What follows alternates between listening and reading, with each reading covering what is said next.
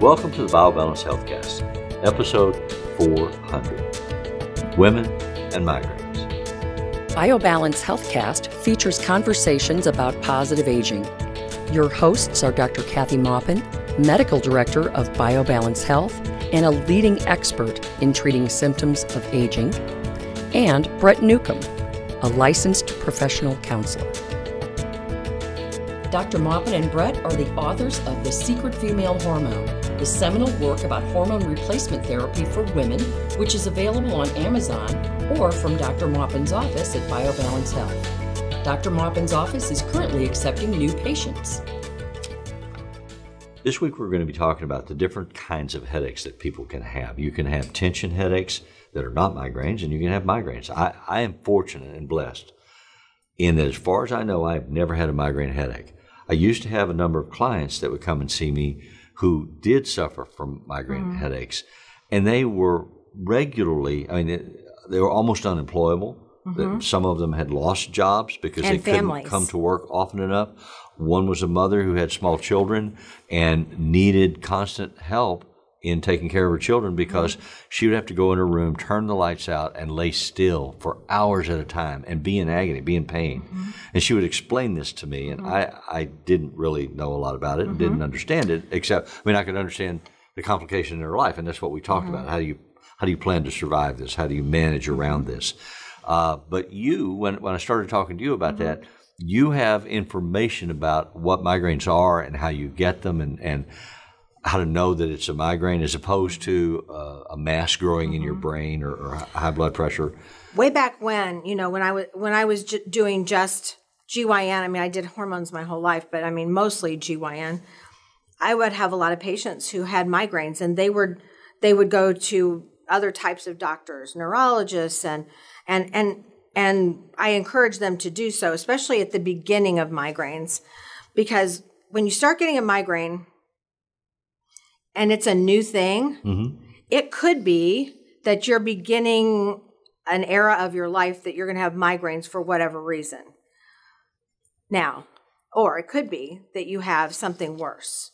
You could have high blood pressure. Severely high blood pressure can give you a headache. Right. That has to be treated as a as blood pressure, not as a headache. So, so is that called a migraine? No. It's, it's not. not. It's okay. not a migraine headache. What it? I'm. I guess I'm talking about what's not a migraine. Okay. So because they're worse, or not worse in terms of symptoms, but they can be deadly. So you have to know if you have migraines or you're just or you're developing something worse. Like right. uh, if you have high blood pressure and it's severe, you can have a stroke. Right. So a bleed in your head from the pressure being so high in your head that your your vessels bleed. Mm-hmm. So that's you have to find out if that's what it is and if it isn't. So if a blood vessel, if you have a stroke and a blood vessel in your head ruptures, mm-hmm. then it's bleeding out into a contained space. Right. The, you, you, the skull contains the brain, and there's not a lot of expansion room. Right, and it's the only part of our body that's really so contained that if blood pressure goes up or if blood blood vessels dilate, right. then it creates pain within this closed space, and it puts pressure on the brain Mm-hmm. And and that's what gives you the pain. So you can have high blood pressure, or you can have, God forbid, a mass like a brain tumor or a cluster of blood vessels that are either swelling or bleeding in, a, in an area of your brain. Those things have to be found out, and we'll go through the what your doctor needs to do if you have a new migra- set of migraine headaches or what you think is a migraine headache. But the other other option migraines, and then we have what we just discussed, but we also can have tension headaches. Okay. Now, tension headaches aren't migraines, but in certain people, they can trigger a migraine. So you can have this tension headache. It's like this. Oh, it feels like a vice on your head, or it goes like this. Or you have a headache right in the center of your head, both right. sides, right. goes all the way to the back, and your neck is killing you. Your neck hurts, your back hurts. It kind of creeps down your back. It's like a muscle spasm that you have muscles here. Then there's like a there's like a, a whole sheet of it of like a tendon. It's, so it's connected tissue to back here. Physical sensations that you can track and measure mm-hmm. that tell you that all right, this is a severe headache, but it's not necessarily migraine. It, it's could be something else. Let's look at what? What do we look at then? So, so when we're um, looking at that, we're we're looking at symptoms. I mean, there's no test where I can go, oh, you have a migraine. You don't have a migraine just by looking at you or by drawing blood or Okay. I can't. I, that isn't going to tell me. Yeah. So it's that the now- symptoms and your knowledge and your my knowledge experience. and and my suspicion especially when someone says well i've i used to have these terrible headaches here's a migraine on one side of my head behind my eye or on my temple Right. and it's usually the same side of your head not always but and you see lights and Mm-hmm. I heard that you see lights like regularly, yeah. sparkles everywhere and sometimes you see those before the pain like pressure inside the head is causing that. Right.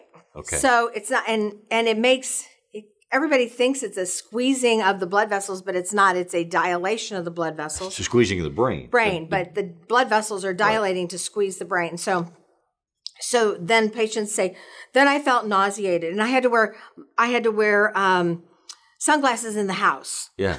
I can't. Would Light you turn those? painful, Would you right. turn those lights Yes. off? I've had interviews in my office Yeah, that's what The- in the dark. I stay in the dark much right. of the day. And the patients are wearing my uh, they're wearing their sunglasses inside. I mean, it's a weird thing for the nurses to come. They're like looking under the door, going, "Why did the lights go out?" Yeah. You know. So so, but it's that severe, and they'll throw.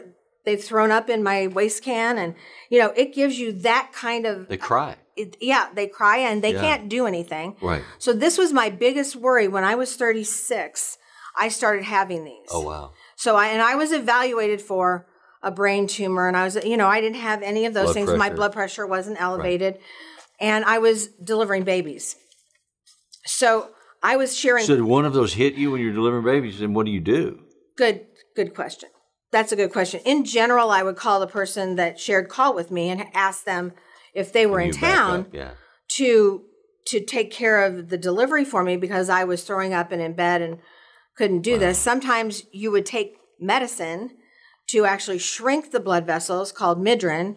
It's an old fashioned ergotamine, and it would shrink the blood vessels, and then you could at least get through the day, but you didn't feel good. You just you just could get through the day. So I only had one instance in my whole career where, and I had a lot of migraines between 36 and 48, where I couldn't go in and deliver a baby, and and I, but I didn't have any backup because my partner was on vacation, and so I I had to take the medicines that you take, uh, and there's some nasal sprays, things like that, that actually help you get through it, and that and your doctor determines whether you need those or not. But I I did everything, and I went in and and did a C-section, and it came out fine, but.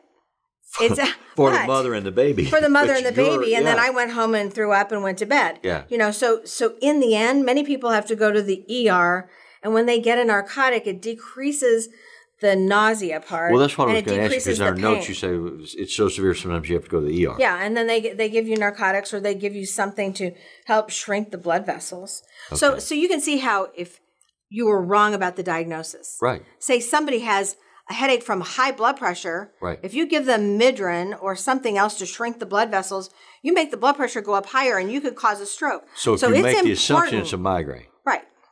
so you have to know the symptoms. You have to talk to them about the location, the type, Mm-hmm. the pressure, the sense of pressure, the sensitivity to light, The the, nausea. aura. Some people even get, I Sick mean, their stomach. there are atypical migraines Uh-huh. that actually can cause you to have like, um, like, like you were paralyzed on one side of your body. I mean, there are eight, there are atypical ways to have a migraine. Some of them don't even have a headache with it, but it can be the room spinning. So, so sometimes they fool us as doctors. But when somebody comes in and says, "I have these I symptoms," have a migraine. No, you're just drunk. Yeah. no, I mean, Yeah. no, they don't fool us like that. We can kind of, I mean, we get close enough to have Yeah, to actually know, right, smell that yeah. or, or actually send them to the lab, but to test. So do certain things bring on this condition, or is it just come in waves or cycles, or they're, they're triggers that Yeah. you can learn about? Like if I'm exposed to this, I'm probably Right. going to have a migraine. Right. You learn. You learn your. You do learn your triggers. You have to learn your triggers. And and um, I had one patient that had four triggers.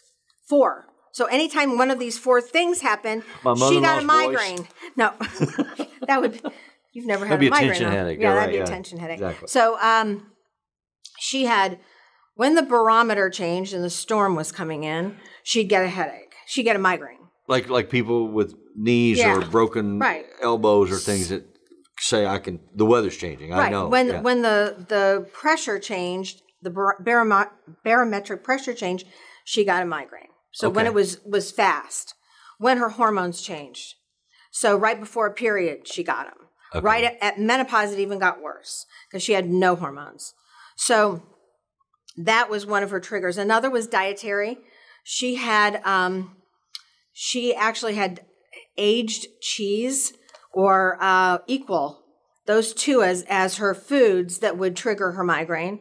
Wow. And she uh, and she also had a really she had a pinched nerve in her neck that was another trigger, and that was very difficult because it fooled us at first. We thought it was just a tension headache, but it was actually a trigger for her migraine. So so she actually had she went to a specialist who dissected out that nerve and took and it had developed some um, scarring over it, I believe. And he dissected out, and that trigger went away. yeah. She avoided the foods, that trigger went away. Mm-hmm. She couldn't help the weather. The weather's unchangeable, but that couldn't Allergies, go like away. if you're allergic to cats or if you're allergic to roses or Yes, allergies can allergies can trigger it. Sometimes allergies release histamine. Histamine dilates your blood vessels. You di- they're dilated in your brain as well as the rest of your body. So what I I usually see though is menopause or premenopause, which was what mine was. And in retrospect, what happened to me is at 36 my testosterone dropped okay. early. So I got I lost testosterone. I had I was estrogen dominant, so I had a really high estrogen. And as the estrogen dropped right before a cycle, I and I was still trying to get pregnant at 36. So it was disastrous because I had lots of estrogen. So as my as I was doing this, I would get migraines every month for days on end. Hmm. So it was it was really difficult and it is for many women who are still cycling and are in the time period of their lives, which is usually after 40 when they lose their testosterone. What testosterone does for women and, and for migraines is that it's a modulator. It modulates your response in your in your vessels to estrogen and progesterone. So it, it's like a cushion. When that goes away, your body responds drastically to changes in estrogen and, and progesterone. So right before a period when everything drops, boom, all of your blood vessels dilate and you get a terrible headache. So you you classify migraines into two sort of broad categories. What you call menstrual migraines and what you call testosterone migraines. Can you Mm-hmm. Right. Mm-hmm. walk us through how you recognize that and what the difference is between those two types? Okay, so um, excuse me, a menstrual migraine is what we just discussed. They occur only at the time of ovulation, which is when all the the estrogen and and testosterone or uh, and progesterone surge, and uh, right at the middle of the month, and then they start happening in the last week, the week before a period. So So if you stayed pregnant, you wouldn't have migraines. If you, those kind of migraines, because Right. pregnancy alleviates Right. it because you don't if- get those cycles. And many times, for those patients who can take the pill, if they Yeah. can, we put them on the pill and we don't let them off. We don't go three weeks on, one week off, because then they get headaches. okay. So we put them on the pill and have them on constant low dose estrogen, which is lower than they make themselves.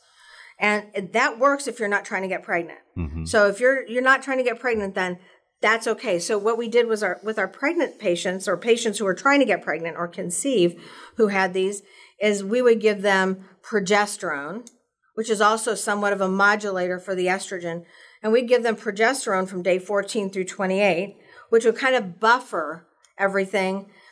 But then when their estrogen dropped, if they weren't pregnant, Right.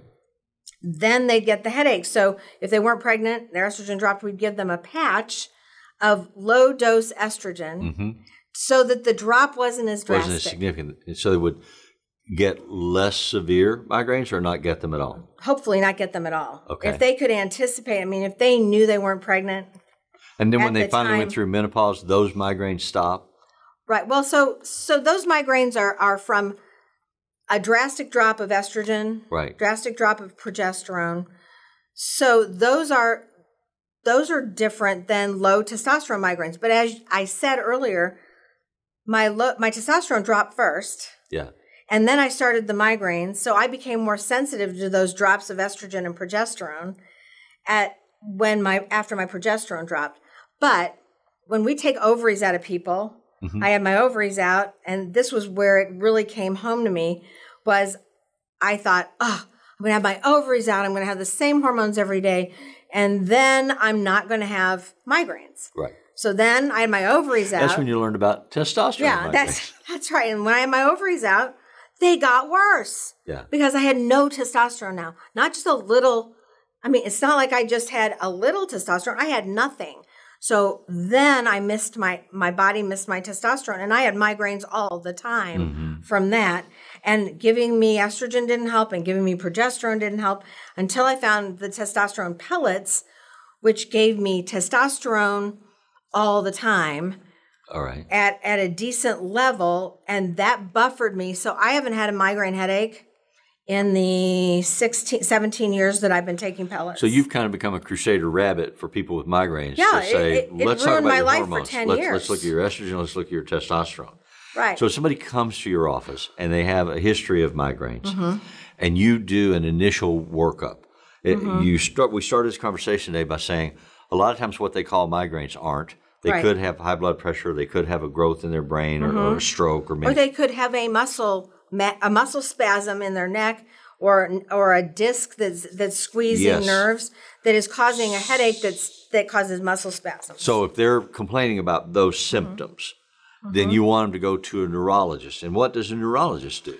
So the neuro- neurologist does what they call a complete neurologic check. First, you know, they ask you a lot of questions. Right. They have you count backwards, and, you know, to make sure that you know what day it is. I mean, that's the kind of yeah. the beginning of the neurologic Push against test. My hand. Yeah, and they see they look to see if you have any unequal weaknesses of your muscles. Right. They check your nerves to see if you have any numbness on one side or the other, which could mean something peripheral, meaning below the neck or below the brain. So you could have some kind of nerve compromise there. You could have MS. You could, I mean, but but in general, that's not what they're looking for here. They're looking to see, do I need to do an MRI or a CT scan on their brain?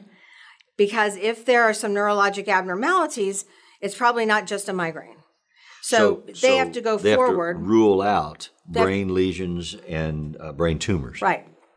And so the next step is if, the, if you've passed these initial tests, or uh, usually they still will do some kind of a test, either a radiologic test, a CT scan, or a an MRI of the whole brain. If they find that there's some localized problem, then they'll have special testing with special uh, contrast to we, look for that problem. In, in a lot of our podcasts, we've talked about the rule out rule. Yes. I mean, doctors learn through experience and, mm-hmm. and through that kind of mm-hmm. testing and interviewing.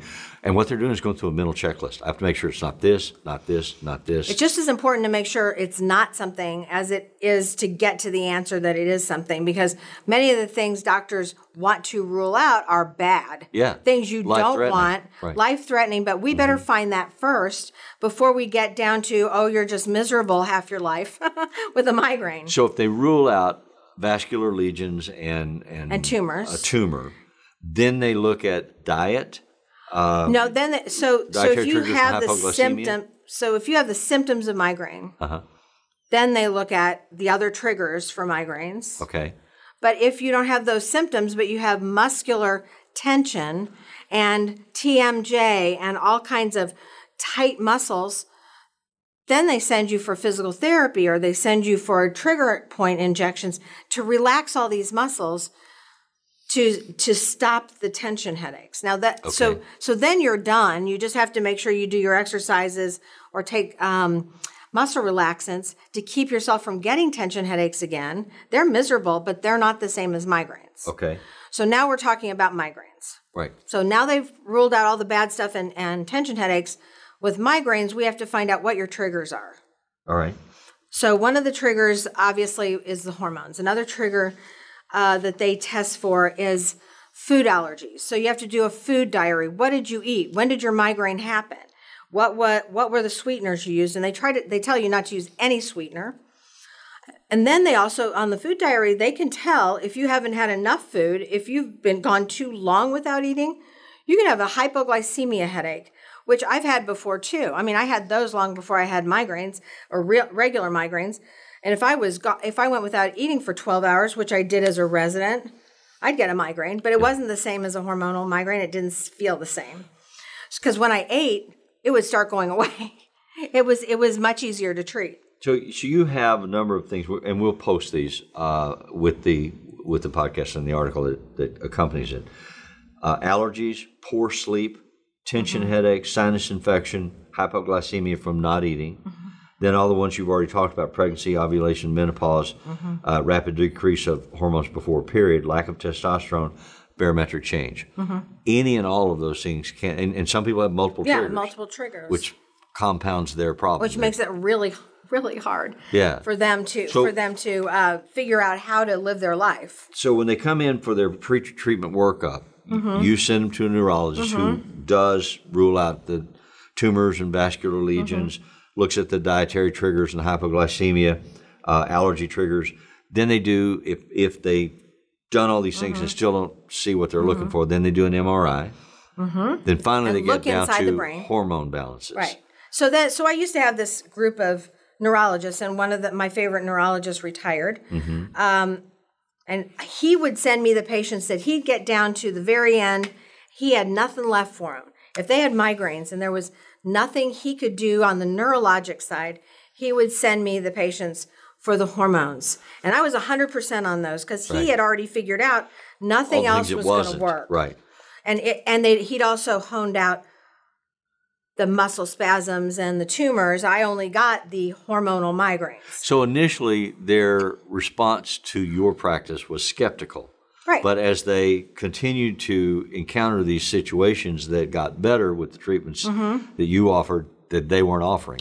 well, they, They didn't have anything else. They They, didn't didn't, have- have, yeah. anything else. So last gasp, desperation, Right. send her but, to Kathy. but again. they also, but this one neurologist read a lot. Yeah. He read his journals. And when he read his journals, he found articles on testosterone treatment for migraines and why men Right. don't get migraines until they're much older than women because women lose their testosterone between 40 and 45 men lose it after 55 usually Right. or or get to a critical level they don't lose it but get to a critical level around that age and that's what men's migraines start so they started studying that in the neurologic journals Right. the problem there is that they don't treat with testosterone so they don't know how to do that and my problem is i'm not a neurologist so i've got to send people to a neurologist to get So a, you have to have this get an evalu- relationship. evaluation Yes. to make sure that I'm not missing something because I'm not going to order the MRI, they will.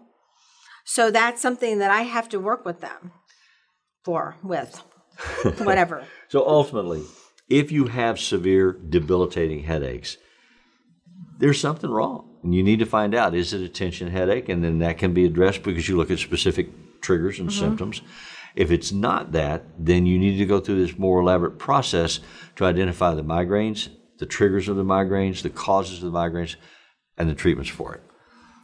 So, It's a big problem, and it is something that you can't. If your spouse has this, you can't just go, "Oh, you're just trying to get out of cleaning the kitchen." Yes. this is this is a huge deal, and you can't make this up. I mean, you just it's oh. impossible to make up the symptoms of a migraine. Oh. it's so, crippling.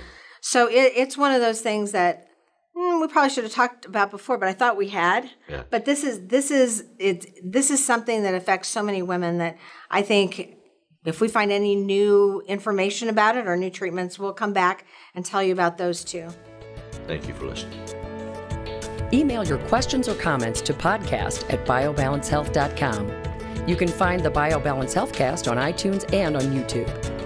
For more information about bioidentical hormone pellet therapy and other reverse aging solutions, visit biobalancehealth.com or call 314 993 0963. You can find Dr. Maupin on Twitter at Dr. Kathy Maupin and on Facebook at facebook.com slash biobalancehealth. Find Brett Newcomb at brettnewcomb.com.